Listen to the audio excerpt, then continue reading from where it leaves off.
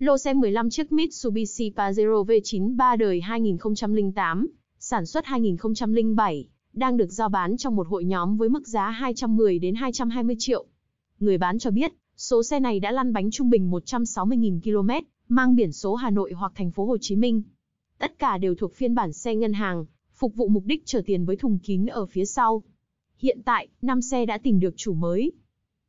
Mitsubishi Pajero chở tiền do các ngân hàng thanh lý lại, người dùng mua về thường đại tu nhiều hạng mục, với chi phí vài chục đến vài trăm triệu đồng, tùy theo sở thích cá nhân và nhu cầu di chuyển. Trong đó có thể kể đến công đoạn tháo bỏ thùng chờ tiền phía sau, đồng thời đại tu động cơ, hệ thống lái, bộ ly hợp, hệ thống phanh, hệ thống điện, sơn lại ngoại thất. Dòng xe này còn có nhược điểm là bị cắt hầu hết tính năng và trang bị, mọi thứ chỉ dừng ở mức cơ bản.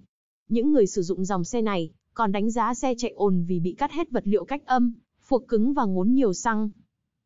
Mitsubishi Pajero đời này dùng động cơ V6 dung tích 3 lít, cho công suất 176 mã lực, kết hợp hộp số sàn 5 cấp và hệ dẫn động 4 bánh.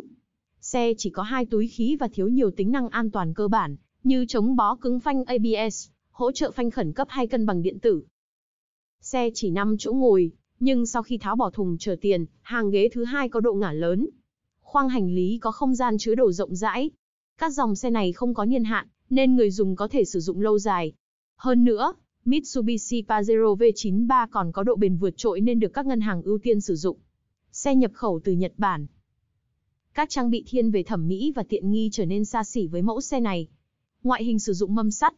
Bên trong sử dụng hệ thống giải trí CD, có điều hòa và ghế bọc da.